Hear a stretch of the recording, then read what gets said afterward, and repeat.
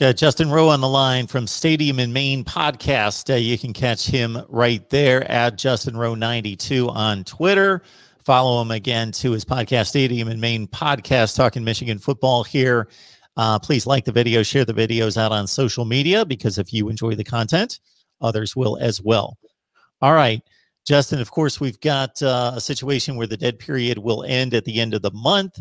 Then we get into a period of time in which people like us are expecting the floodgates to open uh, as players visit uh, campuses across the country. Is there any particular lean or number of players that you're looking at, uh, particular targets uh, or big visitation weekends uh, in June?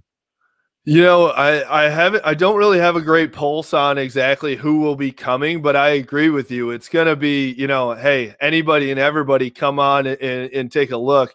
Especially, you know, I'm not sure if you've been to Ann Arbor in the summer, but that's about the best time you can come here. So I'm sure starting in June here, they're going to say, you know, it's beautiful on campus. We want to have as many people come up here, check out some of the new facilities and the stadium that nobody's been in in a year and a half or two years now.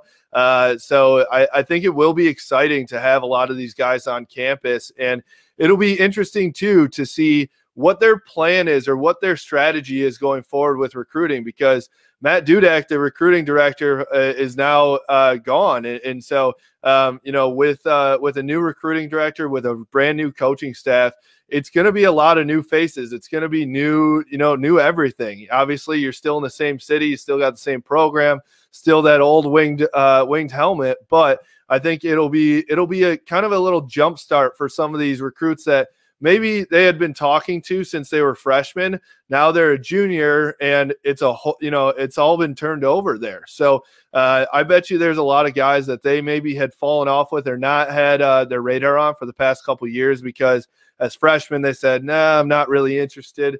They're going to start going after those guys again, I think, and say, you know what, we need to kind of just clear out everything restart a little bit. Let's who's on our board and who can we go after, uh, and then maybe some of the on some of those guys they can make a different impression and say, you know what, it's not the uh, stubborn Don Brown on defense anymore.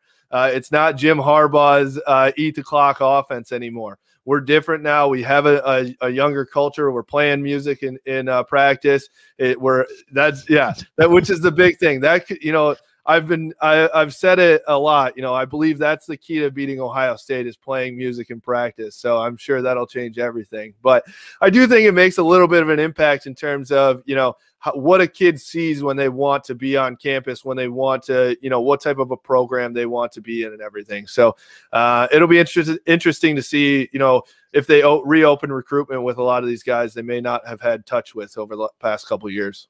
And Justin, you brought it up at the outset anybody can look up the weather on the internet and see what the temperatures are typically like in different parts of the country at different times of year. But it's another thing to feel it and gain that experience, that impression, and to bring a recruit on campus in Ann Arbor in June when it's going to be a nice 75 to 85 degrees where maybe they're escaping somewhere else in the country where it's 103 right. versus bringing them on campus when it's 22 degrees where it's 65 somewhere else is just again we can all read and know what it's like at different times of the year but to experience it and to come away with that experience there's going to be no way to measure it but i got to think that it's going to help teams in the Big 10 and Michigan in particular yeah, I mean, there's a reason why Northwestern built an unbelievable facility right on Lake Michigan, right?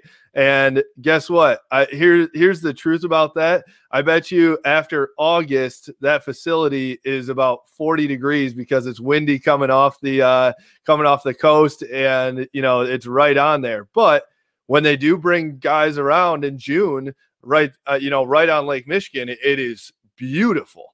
And so, I mean, it's beautiful anyway. It's an unbelievable facility. It's right on the water. Obviously, I'm not hating on it, but I think like that's that's my comparison. You know, Northwestern does that, and Michigan, you know, Ann Arbor in the summer, like I said, there are a lot of people that come here because you really can't beat it. When it is 80 degrees, it's perfect. It's a you know essentially room temperature, uh, and the sun is out, and it's you know it's green everywhere, and it, it's uh you know it definitely isn't is an advantage. So we'll see. Uh, you know, I I definitely agree with you uh, that the Big Ten recruiting wise, June and July uh, are the biggest times. It's when you know when you get into November uh, and some of those recruiting trips when they have to give them parkas and beanies and everything. Uh, I don't think they're as impactful as when you come onto campus uh, in the middle of the summer.